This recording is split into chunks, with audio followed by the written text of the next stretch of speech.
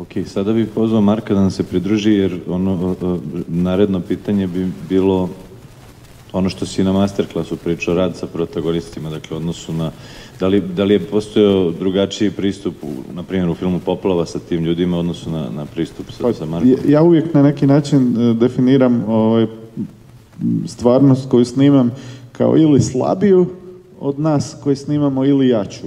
Znači, kad je kamera koja prisustvuje nekom događaju jača, ona taj događaj na ovaj ili onaj način pokvari.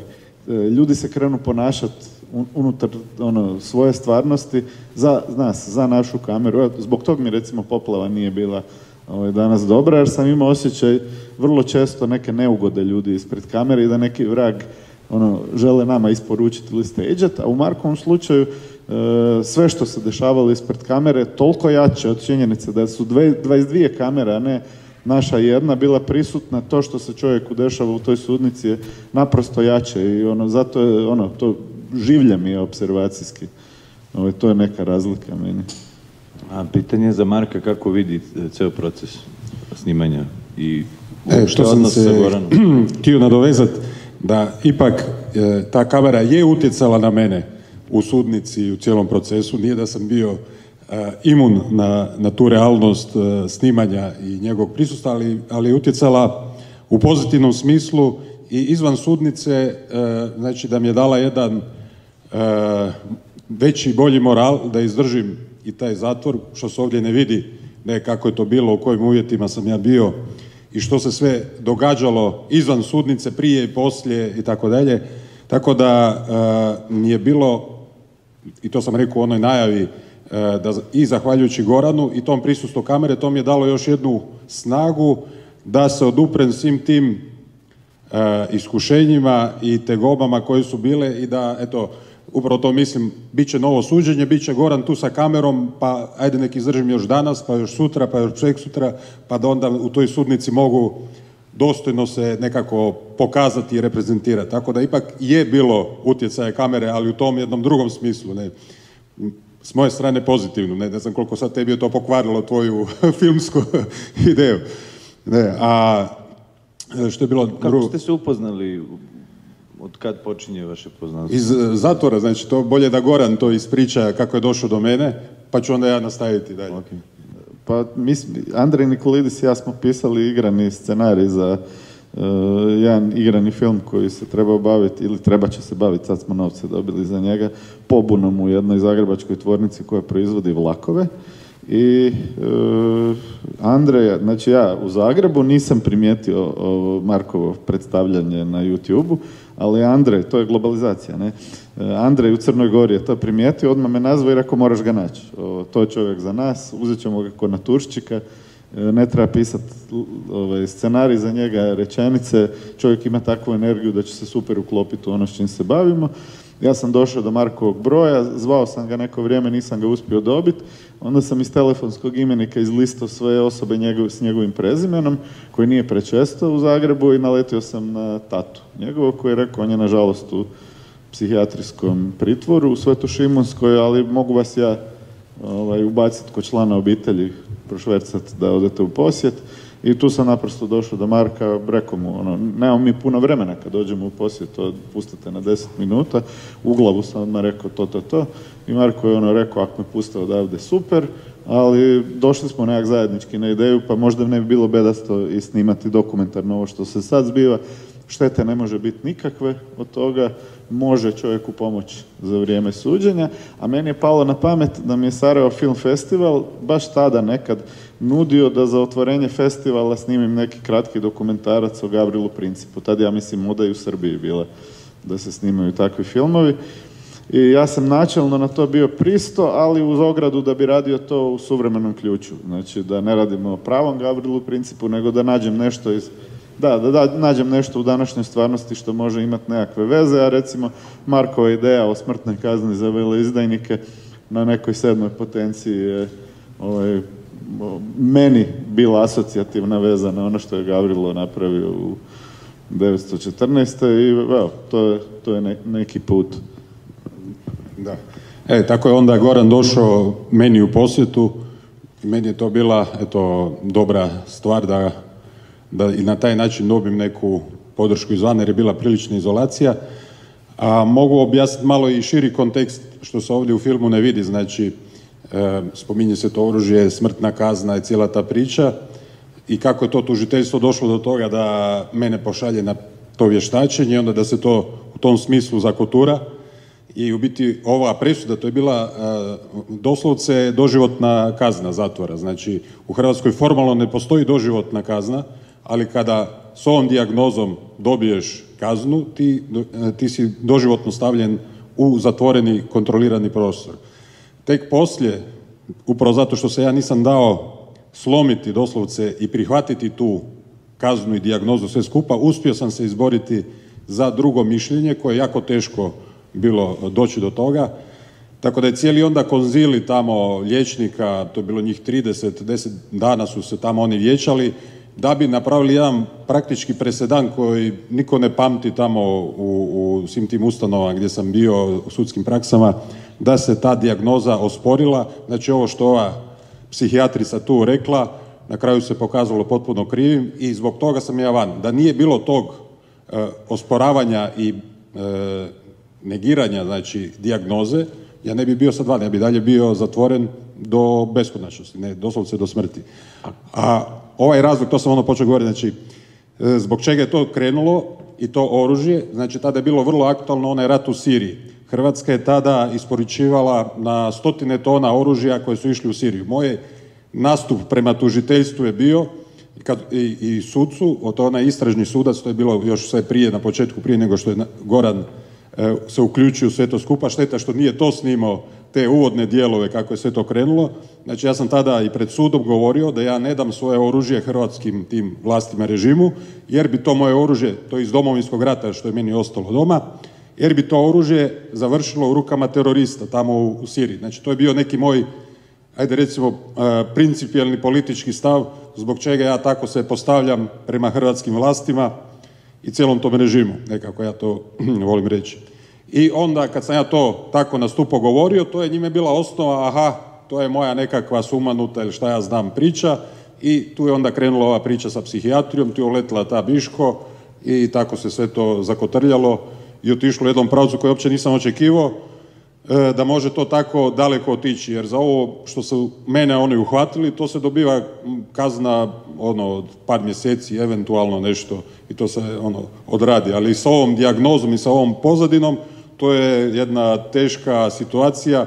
Bio sam stavljen tamo kad je došao Goran, to je bio taj e, zatvorska bolnica u Svetošimunskoj. Znači, to nije psihijatrijska ustanova civilna, nego to je psihijatrijska ustanova u sklopu zatvorskog sustava. Znači, ja sam bio, svi psihijatrijski slučajevi cijele Hrvatske, svih zatvora, su tamo bili na jednom mjestu sa mnom. Znači, jedno okruženje, eto, najmanju ruku rečeno, ekstremno. Ne? Znači, ono, najradikalniji slučajevi ljudi koji raskomadaju svoju majku, baku, ko onim filmovima, hororcima sa sjekirom na male komadiće, pa onda rade performans po kući s tim i tak dalje. Evo, to su bili moji, ovaj, kako bi se to reklo, kolege u sobi s kojima sam ono mjesecima dijelio životni prostor i svakakve takve druge priče i to je bilo način na koji su me pokušali slomiti jer sve se vodilo oko toga, znači ova psihijatrica koja je tu bila, ona je bila ujedno i direktorica te zatvorske bolnice. Znači ona mi je dala dijagnozu, ona me istovremeno i kao liječila. Znači u biti to je jedna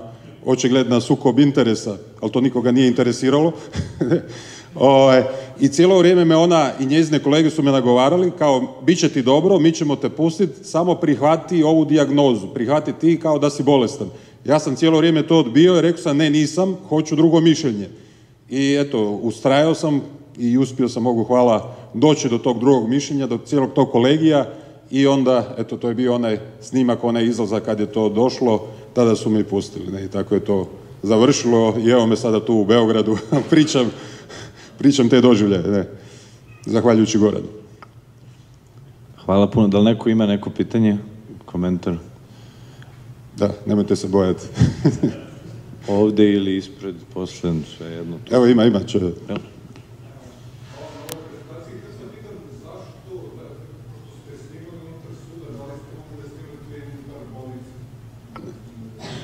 Nikakve šanse nije bilo za to. Osim kad bi išao privatno Marku u posjet snimat mobitelom, ali za slučaj da te neko u njemu unutra uhvati, to bi se opet na njegovom statusu unutra reflektiralo, to nije vrijedno toga. Ali postoji jedna stvar koju smo skoro snimili, kad je Marko oslobođen napokon, e, nije dugo trajalo da ga ista ta država koja ga je zbog nelegalnog posjedovanja oružja strpala u ludnicu, ovaj, pozvala na vojnu vježbu zbog migrantske krize i kao zapovjednom kadru Hrvatske vojske dala legalno oružje u ruke i mi smo dobili dozvolu za snimanje, ali, ali su se predomislili kad su valjda proguglali ko sam i kakvi su mi prethodni filmovi. to, bi, to bi recimo se super uklopilo ovaj, u ovaj film u smislu absurdnosti ove stvarnosti koju smo snimali neophodnim kadrom za... E, tako mi bilo, znači, kad sam izišao van par mjeseci, dobio sam tu poziv ne, od vojnog ocijeka kao neophodni kadar Hrvatske vojske, jer sam eto bio u ratu i sve skupa, i onda me zovu i to se poklopilo s ovim nastakom suđenja, sve je bilo prilično bizarno. To je isto meni žao da to nije snimljeno, jer to bi bilo prava jedna ono, nadopuna filmu, mislim puno jača nego ovako što je sad bila, iako i ovo ima svoju snagu, ali stvarno totalni absurd, znači ta ista država koja me proganja i zbog sličnih razloga onda me poslije smatra neophodnim i potrebnim da, da popunim njihove te vojne snage. Zato jer ste dobro izlječili, znaju ljudi svoj posao. Ne? Da,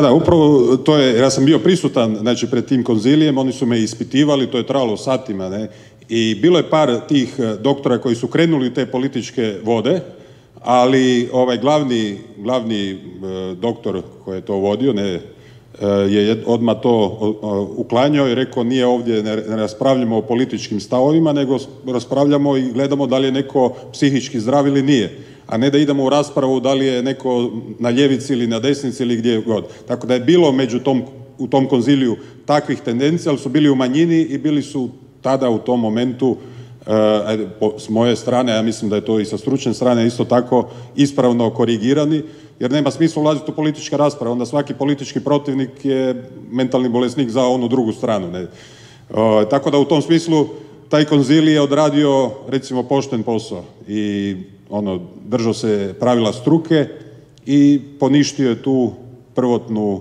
dijagnozu koja me držala zatvorenim. Da.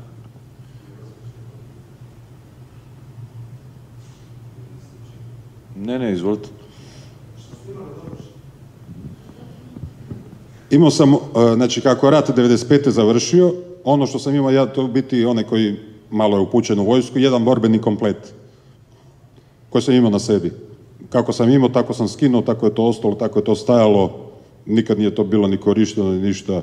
Znači, automatska puška, e, okviri, sedam okvira, e, dvije, tri ručne bombe, ne znam, jedan trombon i tako. Ono, ono što jedan pješadinac nosi na sebi, čak i manje od toga, ne, u pravim trenucima puno više sam znao nositi i, i, ovaj, i zolju i tak dalje, to nisam imao, nego ovo temeljno recimo to tako. Ali još jedna stvar ima, znači ne samo da sam imao to, a za ovo manje više, nego imao sam još iz e, 91. početkom 91. sam kako je ono kretao taj rat i sve skupa, kako sam se skinuo iz JNA, bio sam u vojsci JNA 89. 90. završio školu rezervnih oficira u Bileći, koji je bio JNA, zna o čemu govorim. E, znači, kad je krenulo to sve, svojim novcima sam kupio jednu eh, lovačku pušku početkom 1991. Eh, koju su mi sada isto oduzeli. Zbog čega to spominjem? Jer ta lovačka puška je bila poklon Tita jednom njegovom partijskom drugaru, ne visoko pozicioniranom i bila je ručni rad po narudžbi napravljena sa gravurama. Znači, tada sam ja to kupio, ne znam, to je bilo nešto jeftino, možda 200-300 maraka tada je to koštalo. Realno e, to oružje ima i povijesnu vrijednost i, i, kao oružje samo po sebi ima veliku vrijednost jer je eto, e, napravljeno po narudžbi i, i nije serijska proizvodnja. Tako da sigurno to vrijednost od 5 do 10 tisuća eura sada i to su mi uzeli i to mi je možda najviše žao od svega jer eto, jednostavno su me materijalno oštetili na taj način što su mi tu pušku uzeli koja ima i veliku vrijednost. Ne? Sad bi mi to sigurno koristilo. E, pa to je, to je ono isto posebno e, bizarno ne, I, i, i kako je sve to krenulo. Znači, ja sam se na Facebooku raspravljao e, i, ha, kako to reći, polemizirao sa ministrom unutarnjih poslova Rankom Ostojićem. On je tada bio ministar. e, i ovaj, vidjeli ste onu snimku kad me policajci e, ono, nasrću na mene. To je bilo dan prije referenduma uh, ulaska Hrvatske u Europsku uniju. Ne, mi, vidite koliko nas je bilo, znači nas je bilo možda negdje 50 protiv Europske unije, bilo je više policije nego nas i završilo je tako kako je završilo i iza toga prošlo je vrijeme, ja sam na Facebooku, prošlo je već dosta vremena od tada i odjednom naletim na Ranka Ostojića u tom virtualnom prostoru, ne, ministra unutarnjih poslova, tada aktualnog. I kako sam imao u pamćenju i ostao mi je po zlu upravo zato što je njegova policija tako mene napala, onda sam ja, a čak nisam ni njemu direktno rekao, nego na Facebooku sam jednom drugom virtualnom prijatelju e, e, govorio kao Željko, znaš li što sam noća sanjao? Onda on meni kaže, ne znam, reci što si sanjao. Onda sam ja napisao, sanjao sam kako na trgu Bana Jelačića, tamo gdje su me napali rankovi batinaši, kako ja Ranka Ostojića vješam na banderu kako ljudi okolo su svi sretni, kako kliču, kako se Ranko upišu u gaće i tako dalje. I na to moje je onda Ranko Ostojić direktno počeo sa mnom, ušao u raspravu. I onda on počeo mene vrijeđati, psovati, ono, jedan riječnik je koristio, znači ministar unutarnjih poslova, aktualni, je počeo koristiti jedan vrlo vulgaran riječnik, što meni bilo super. Ja sam odmah zvao jednu novinarku iz jednog portala koju sam poznavao Rekao, super, Ranko mi se javio, ja ću ga nastaviti provocirati i ono, cimat ga da, da i dalje tako ovaj, replicira, a ti sve to screenshotaj i imaš sutra vijest za svoj portal. I tako sam ja radio, znači jedno, sigurno pola sata je trajala ta naša konverzacija, ja sam njemu davao materijal da on meni replicira, on je to meni replicirao, svašta je govorio, mi stvarno bljuta je starija, recimo on je meni govorio kao da ja imam eh, seksualne odnose sa svojim ocem, E, da, ono svašta, svašta, mislim, e, a meni to bilo super, znači što on više išao u, u te prostačine i, i, sve skupa, meni još bolje, znači, e, bit će atraktivnija vijest i eto, nešto će se dogoditi s njim. E, možda će dobiti, ono, morati ostavku podnijeti. kako je on pisao, po svemu sudeći bio je alkoholiziran. Ne, nema mi drugog racionalnog objašnjenja za njegovo to ponašanje. To se može vidjeti po svemu što je on govorio. Ali što se dogodilo, znači sutradan kad je ta avantura noćna prošla, meni dolazi policija na vrata. I tu onda sve ovo dalje kreće. Znači na osnovu tog Facebooka što sam ja rekao da sam ja sanjao kako njega vješam, to je onda tužiteljstvo protumačilo kao prijetnju ministru, na osnovu toga su izveli e, nalog za pretres, onda su pronašli oružje, onda je došla ova psihijatrija i evo došlo je do, do ovoga što je bilo. Što? Ministar se potpuno maknuo, znači na ovom procesu što su mi snimali, njega nije bilo u spisu. On je tvrdio da je to lažni profil, da je to neko hakirao, što je potpuno suludo, ne bi čovjeku došli policajci drugo jutro ovaj, na vrata, ali nama je to filmski zapravo pasalo, jer bi e, sa tim elementom zapravo bili unutar neke dnevno političkog prepucavanja, nešto sitnije. Ovak je to ostalo na ono super abstraktnoj razini koje je filmu ono samo pomoglo na neki način. Ne, taj inspektor koji me je ispitivo ne, i procesuirao, on je meni potvrdio odmah od, prvog, od početka ne, da je to ministar od Ranka Ostojića. Ja sam njega pitao direktno je li to Ranko Ostojić pisao, jer ja sam čak sumnjao, nisam bio siguran i kad sam raspravljao s njim tamo, nisam bio 100% siguran da je to Ranko Ostojić, ja sam, Ranko Ostojić, taj ministar. Ja sam mislio da je to možda neki volonter koji ima njegov profil, jer on stvarno je pisao nebuloze, ne, nešto što si ne bi čovjek smio dozvoliti. Ali inspektor mi je potvrdio, da, da, to je bio ministar. Ne, dobro, još bolje.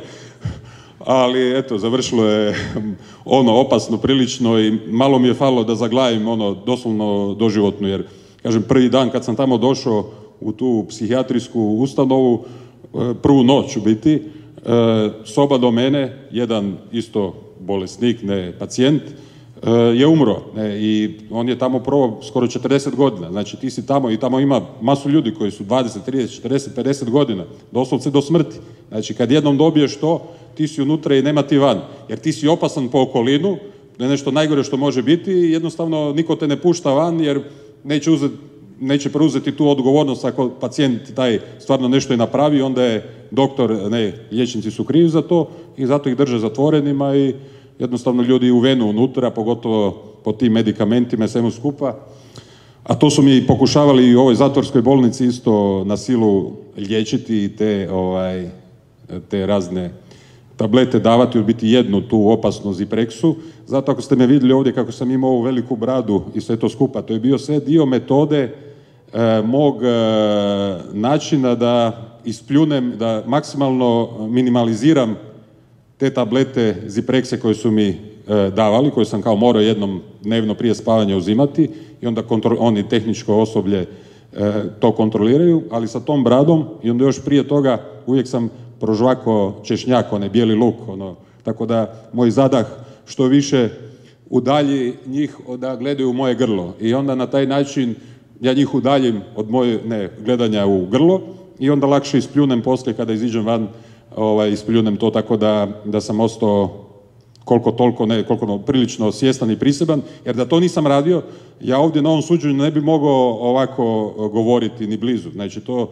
ti medikamenti vas doslovce otupe i ono, izgubite svaku snagu, svaku mogućnost razmišljanja, doslovce vas pretvara u biljku. Znači to je, to je ta metoda liječenja, tako da evo i na taj način sam pokušavao se nekako izvući iz te vrlo ružne situacije u kojoj sam se našao.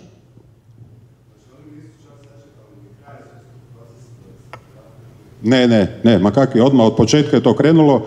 E, ja sam vodio zatvorski dnevnik i napisao sam knjigu ne Fejsijad Odiseja. Ja sam svaki dan sve pisao, e, sve što se događalo, e, upravo sa tim nekim htjenjem da, da i sebe zaštitim na neki način, da se zaštitim od zaborava i da se vidi što je to sve kako bilo.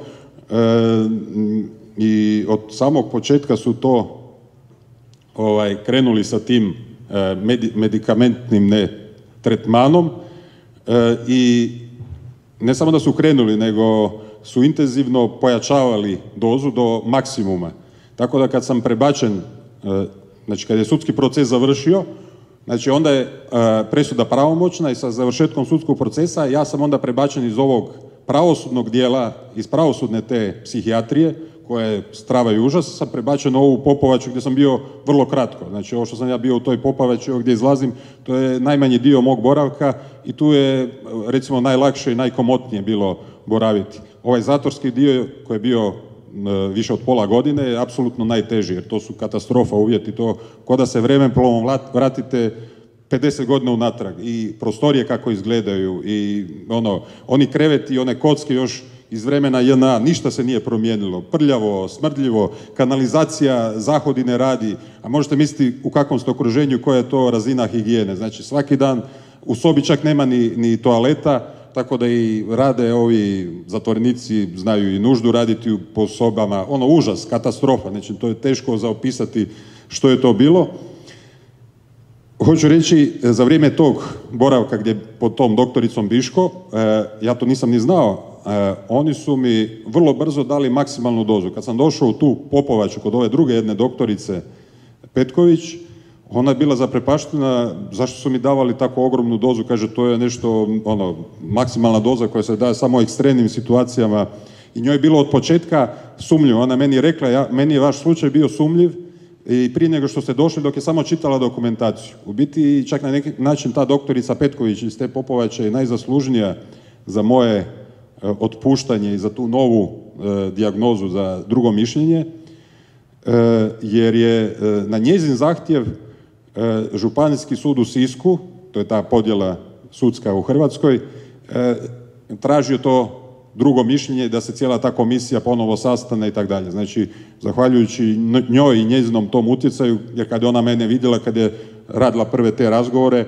ona je odmah mene skinula sa te terapije, i evo rekla da moram biti strpljiv, da će sada ta pravosudna procedura ići i da vjeruje da, da mora ta komisija donijeti isto zaključak koji je ona donijela samo na ovaj prvi uvid jer kaže da jednostavno nije bilo elemenata za, za donošenje takve dijagnoze. A to se evo može vidjeti kroz ovu snimku. Hvala. ja bih samo sad morao da zamolim da se premestimo napolje. Mislim da nastavimo razgovor ako neko ima pitanje, pošto verujem da imate, ali debelo već kasnimo sa, sa narednim filmom i jako mi je krivo zbog toga. Gorane, hvala na svemu. Hvala. Ovim je zatvorena retrospektiva, posljednje reči neke za kraj retrospektive. Hvala na svemu. Hvala.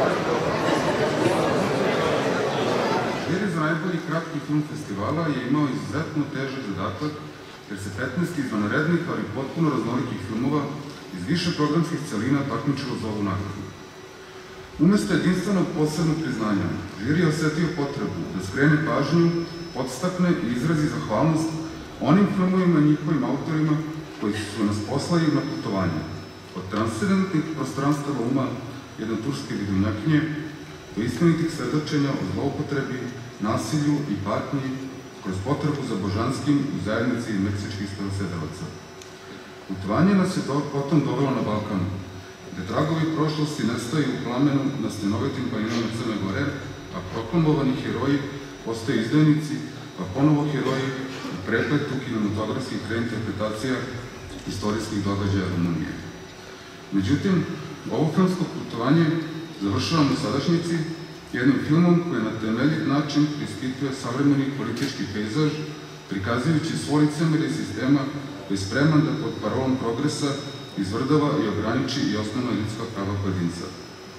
Dakle, zasmeo, sirov, elegantan duhovit, promišljeno strukturisan, ali pre svega plemenit autorski pristup u prikazu jednog odlučnog, ali možda i nepodesnog protagoniste njegove borbe sa kojim se neizbjegno solidarišemo, nagrada za najbolji kratki film festivala svedelje filmu u ime Republike Hrvatske. Goran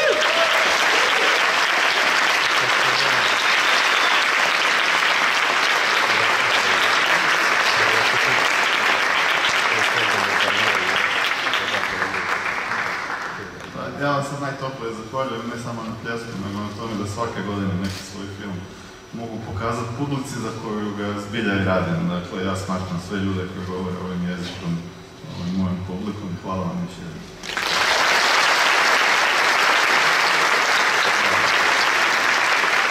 Čestitam Goranu e, i ovo, ova nagrada je još jedna pobjeda moja je osobna protiv sustava i nadam se da ovo je jedan primjer da ipak pojedinac može protiv sustava, a normalno i pokazati da ne može sam, uvijek trebaju drugi biti s njim, imati hrabrost. Još jednom hvala Goranu.